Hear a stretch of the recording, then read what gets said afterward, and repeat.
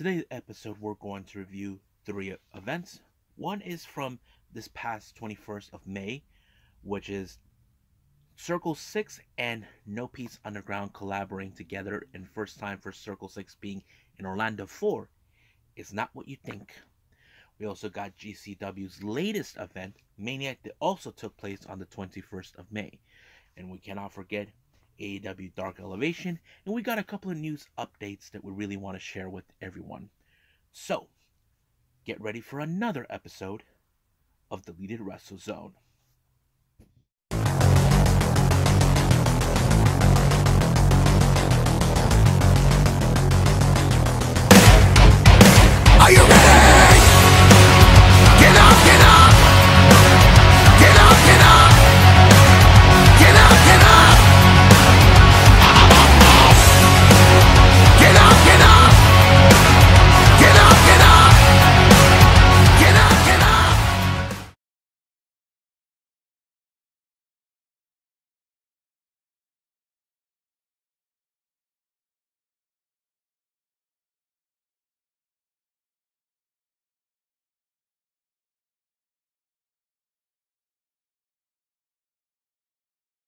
Welcome everybody to Deleted Wrestle Zone, all things that is pro wrestling with AEW, NXT, New Japan Pro Wrestling, Impact Wrestling, the National Wrestling Alliance, various promotions, wrestlers, matches, and championships.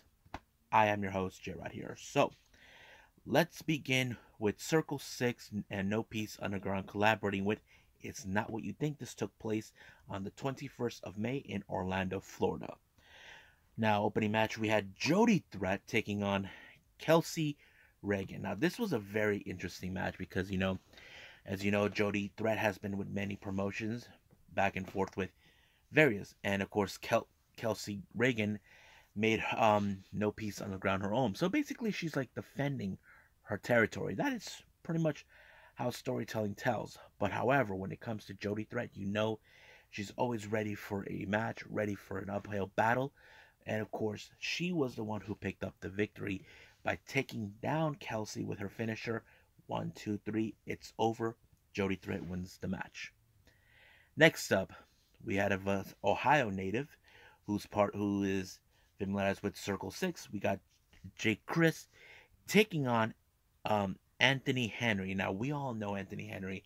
He is a beast when it comes to wrestling. He's one half of the workhorsemen.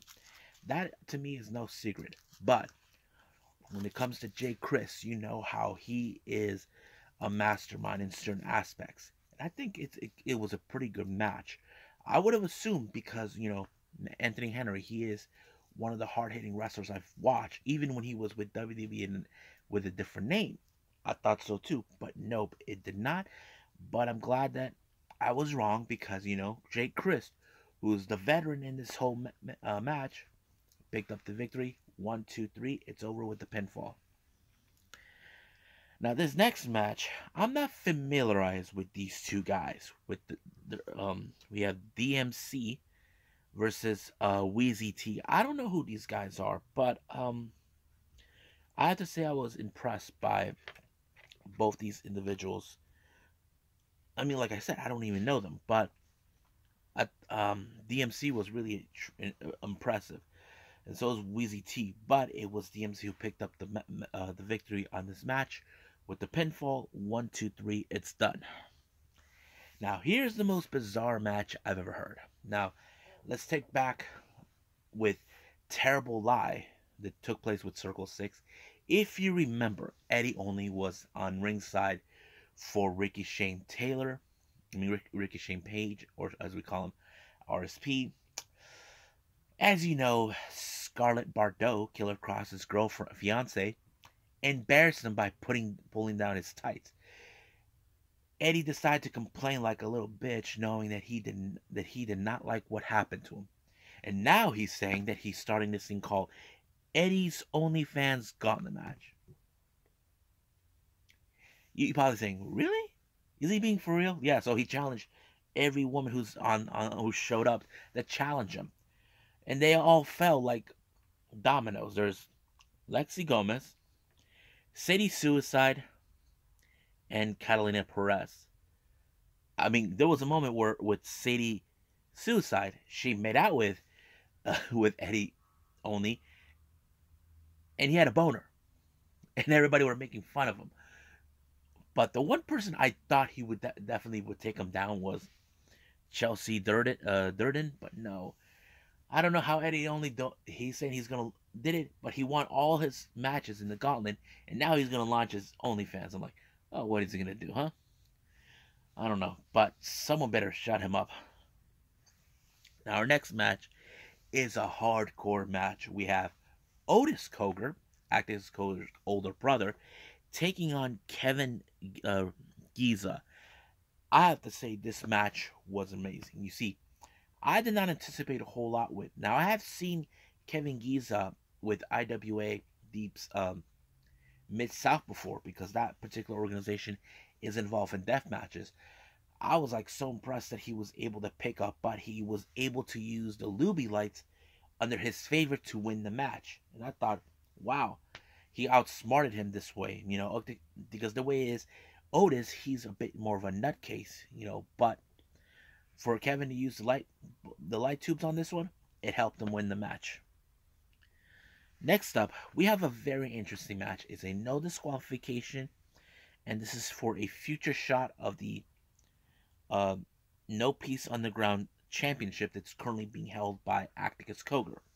We have the young stud members of 440, Bobby Beverly and Eric, Eric Ryan, taking on Perro. Now, from here's what's going on. Perro was the previous champion before Atticus Cogar, so Perro would do anything in his power to get that title back. But however, he has to get through 440 members, and it's like bizarre. Everything would have gone in his favor if it wasn't for Atticus, who made sure that Beverly and um, Ryan kept up, uh, won the match. So this is going to be a hard hitting thing. Basically, Perro lost his opportunity to get another shot, but I wouldn't um, stop them from there because if I was Perro, I would definitely come back for more until something uh, would change. Next up, we got an Extremes Rules match with legendary uh, former WWE superstar Gangrel taking on legend in the deathmatch world Masada. Now, you know this is going to be one crazy match when it comes to blood and guts, all that. But the one thing I did not anticipate is Masada using a low blow.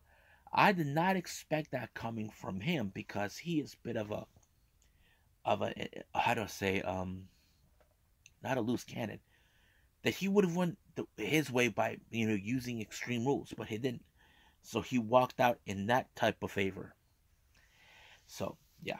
Now our next match, we have RSP Ricky Shane Page taking on the Samoan Werewolf Jacob Fatu. Now Fatu, you know this is crazy. It's nuts. And of course, RSP would do everything to try to win this match, but it, it did not help him in any way. But we all know that Fatu, he is dangerous. He's crazy. We know that he would definitely not give up that easily. You know, his reputation precede him. And of course, it was that moonsault off the top rope that allowed him to win for a second, for another time. Now Ricky is on the losing streak in Circle 6. Now, our main event, this is for the the No Peace Underground Championship with the return of Zachary Wentz, formerly known as Nash Carter, taking on Atticus Cogar. Now, this match was unbelievably good. I have to say it was great. I think the problem I had is this. Sure, Zachary Wentz, We can talk about the uh, allegations he had previously.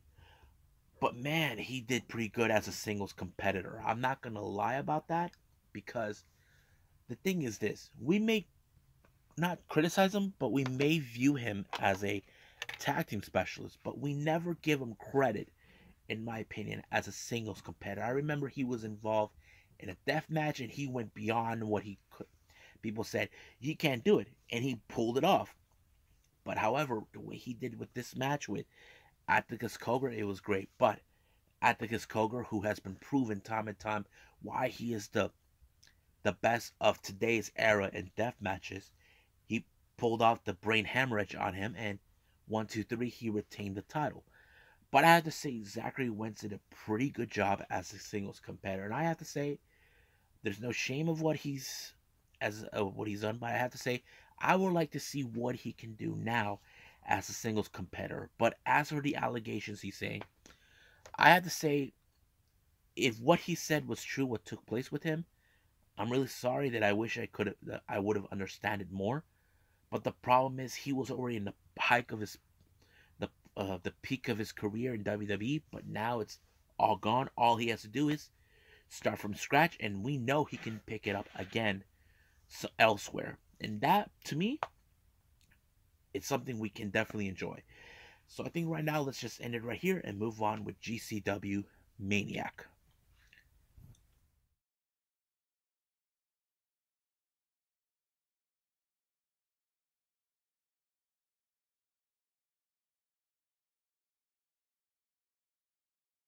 Okie dokie, so let's talk about GCW Maniac that took place also on the 21st of May. This one took at the Ukrainian Culture Center as well. Uh, this one, we had the opener Blake Christian versus Kevin Blackwood. I have to say, what a great opener, you know, because the thing is, these two are one of the most fantastic wrestlers we've ever seen. But of course, we have one wrestler who's a bit of a, more of a technical aspect, one who has a bit of the high flying aspect. That kind of helps out with the dynamics of the match. But it was Blake Christian who picked up the victory onto Blackwood. And I have to say, All Heart really is All Heart with the one, two, three, and it's over. He won the match. Next up, we got Titus O'Neil, who's been known as the franchise, taking on Tony Deppen. Now, this is a different thing. And also, for the added bonus, we had Rick Knox actually refereeing this match. Uh, I did not expect that, but it was great to see him refereeing because you know everybody loves Rick, and not to mention now you would have assumed in every aspect Tony Deppen would do whatever it takes to win. I mean, look, he's a fantastic wrestler, but everybody we know in his character he's a total prick. That's how it works. Titus uh, Alexander is no different, but I don't think he met a guy like like him. But, however, Tony Deppen did walk out as the victor. One, two, three. This is a huge disappointing loss for Titus Alexander. I'm like, man, they're both almost the same. But I think the bigger a hole in the story is Tony Deppen. That's why he won the match. Now, here's a very interesting match, and Veda Scott was put in the middle of this during commentary. Her fiance, Mike Bailey, taking on her friend, Masha Slamovich. Now, this was one of those matches you probably would say, dang, this is one of those hard hitting matches you definitely wouldn't expect. Now, Mike Bailey had uh, played out a pretty good role in this match, exploiting a potential weakness onto Slamovich. And I think that's played out pretty well until he finally put her away. One, two, three, it's over. I have to say it was a pretty good match. I think this is one of my favorite matches that I've seen in the intergender section. But I can't wait to see what else they can throw out in this one. So Bailey won this one. Now we have the GCW Extreme title in a six-way scramble match. Well, originally it was supposed to be five. We have your effing with the different Boyd, Jimmy Lloyd, Cole Radrick, uh, Jack Cartwheel, Ninja Mack, and then of course AJ Gray. But the surprise entrance was the return of Starboy Charlie. We haven't seen him since he got injured. I was so happy to see him. I think many people did not anticipate this, but but I also like did like how the commentators mentioned how Jack Cartwheel, who was in Japan recently, uh, participating with GLEAT, and so was Pro, so was uh, Ninja Mack with Pro Wrestling Noah. I have to say I commend them to acknowledge that's where they were the, during their time but it was great. But however, AJ Gray walked out as the victor once again, retaining the GCW Extreme Championship. So, wow. Next match, we have Biff Busick versus Jordan Oliver, Young, Dumb, and Broke. Wow. Another good match. I have to say, you know, because the thing is this We know Biff Busick. He is one tough SOB. That's what I like about this match because it tells us, okay, here's this guy who's young, but he knows exactly what he's getting himself into. You're facing a guy who is there to beat the crap out of you, and somehow he was able to overcome all of it and pin Biff Busick. But at the same time, he gained respect. I would be surprised if Jordan Oliver learns the ways of what Bu- Biff Busick is all about. Next up, we got Dark Sheik versus Lufisto. I have to say, another good match as well because I love everything they do on this, you know, because Dark Sheik is an amazing wrestler to watch, you know. Uh, she has that attitude, like never say die, that type, and I think that's what makes her great, you know. Don't let the don't let me fool you, but I won't die. So, but it was the, that amazing kick that put away Lufisto, and Dark Sheik won it with the one, two, three. It is done. Now our next match. This was supposed to happen about a month or two ago. Nick Wayne taking on Bandito, another great match as well. I did not anticipate how good this match was going to be, but I have to say Nick Wayne really, really impressed me a whole lot. Despite the fact that he lost towards Bandito, what he did that twenty, uh, that one finisher, but he was amazing. I have to say he really put up, went over on this match, despite the fact that he lost, and I think that's what's great about this match. So I enjoyed it as well. Now our next match we have is the GHC, uh, the GCW um, tag team titles. We have Busi, Effy and Allie Katch taking on Togo Uso, uh, Juicy Finau, and Tao Leona. I thought this match was like David versus Goliath in this particular match. I did not anticipate how good it's going to look. More like you made Busi look like they're beating, getting their asses whooped by two of the largest individuals on the freaking planet. And I think that's pretty great. But Busi can do anything if you believe in Busi. I think that's how the story tells us. You know, here's a team that's a little weird, but believe in them. They can do what they want. Believe in them and they can get it done. And I think that's what happens. They picked up a stray, a great victory, retaining the titles. And of course, uh, Tao Leona was leaving with a tear coming out. People would have said, Cry me a river. Now, in main event, we have a death match. We have Joey Janela versus Drew Parker. Now, I want to put something out. What in the effing world was Joey Janela thinking? If you guys saw what he did, he lit his shoe on fire. Now, I want to know, as a fan, did he get this from Kenoh? If you guys know what I'm talking about, I'll explain it. Kenoh from Kongo in Pro Wrestling Noah does this all the time. He recently er, lit up his shoe on fire to hit um, DDT's uh, Damnation leader, uh, Daisuke Sasaki, and he actually did that. But he was unharmed. He was okay. He was literally put on fire. I don't know if this was a stupid idea or try to mimic what this guy did. I think it almost could have botched up, but no, they were able to contain the fire. I think they botched this one completely, but it was Drew Parker who picked up a very good vi- victory when he spiked them and then he put him right underneath a barbed wire door, landing on top of him, and one, two, three, it is over. I was like, I have to say that part with the shoe really, really threw me off. But the rest of it after that, great.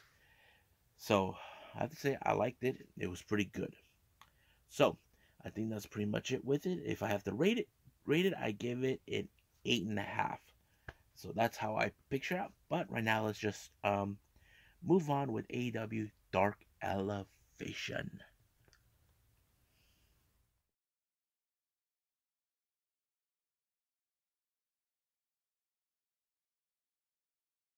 Okay, so let's talk about AEW Dark Elevation. Our opening match, we have Ethan Page along with Dan Lambert to take on this guy named J- uh, JD Griffin, who has a MMA, uh, Muay Thai MMA background. Now, you would have assumed that this was like unnecessary, but it kind of shows, you know, Ethan Page is being serious, trying to take things most likely. But of course, he did finish them off with the Ego's Edge, and it's over one, two, three. Now, uh, for the second week in a row, the ROH Undisputed Women's Championship was defended. Uh, Mercedes Martinez defended against Hyan. If you guys don't know who she is, uh, has been a well respected wrestler. She has traveled around the world. I believe she was part of the reality of wrestling for a while. I think, uh, I'm not 100% sure. But she did a pretty good fight. But however, it was that little submission that Mercedes Martinez is well known that sealed the deal for her to retain the title. And of course, she showed some respect to Hyan for the effort and being the match with her. Now, our next match we have is, of course, the Varsity Blondes without Julia Hart. We don't know what's going on, how they're going to play out the storyline after after what she's been through. They're taking on a, the AFO's um, Butcher and the Blade. Along here comes the Bunny. Now, the match was pretty interesting and uh, great. However, there was miscommunication from the Varsity Blondes that kind of put them in a position where it went in favor of the Butcher and the Blade until the Butcher put Griffin out with the somewhat of a power bomb, and he pinned one, two, three. It's over. Next up, we got Lee Moriarty taking on Alex Reynolds. Now, we would have assumed Alex Reynolds walks out, but no, I have to say, Lee Moriarty, who is a fantastic wrestler. If you guys never seen him before, he is a great tactician wrestler. You definitely get behind. But it was him with the crossface onto Alex Reynolds that allowed him to pick up a very good victory. Next up, we got Skye Blue and Yuka Sakazaki taking on Emi Sakura and Nyla Rose. Now, if Nyla Rose and Yuka Sakazaki has, has faced and Emi Sakura has faced each other in the past, but now this is different. Now, um, there have been moments where, of course, Yuka Sakazaki was close to win, but no. But it, in this case, it was Skye Blue who ended up in the wrong side of the beast bomb. One, two, three. Nyla Rose and Emi Sakura won the match. Now, our main event, we have the Governor, Anthony Ogogo, taking on Mysterious Q. If you guys never seen him, he's Texas native. I thought it was a good match, but once again, the left punch is what sealed the deal for Anthony Ogogo to win with uh, the count out one, two, three, and it's over right from there. So AW Dark Elevation was pretty good. Um, I know they can do better, but we'll see what happens the following week. But right now, let's end it right here and move on with news updates.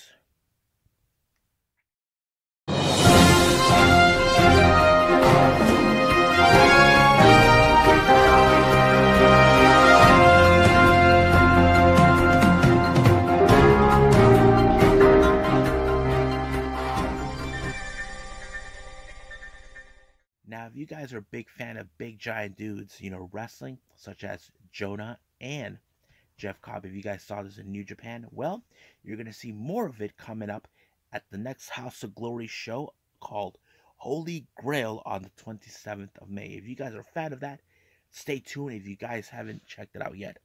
So it's going to be for the World Heavyweight first round. So it looks like there's going to be a championship match taking place. So Jeff Cobb versus Jonah. Let's call it this is going to be a very interesting match to watch. Now, if you guys may or may not have heard of this story going on, um, Independent Wrestling Television or IWTV filed a lawsuit against GCW for a breach of contract. Now, if you guys have been noticed, GCW in the past used to have their streaming service to IWTV, but since December of 2020, all their shows have been uh, streamed by FITE TV. So it looks like they settled things out of court, and there's going to be an event that kind of put it back in the fold on July 10th. Now it's the the purviews and details of that event is still unknown, but I'm kind of curious to know because I did not uh, anticipate a whole lot. But uh, the lawsuit did um took place in 2021, but um the air, but like I said, they air uh, GCW aired their shows on FITE TV since December of 2020.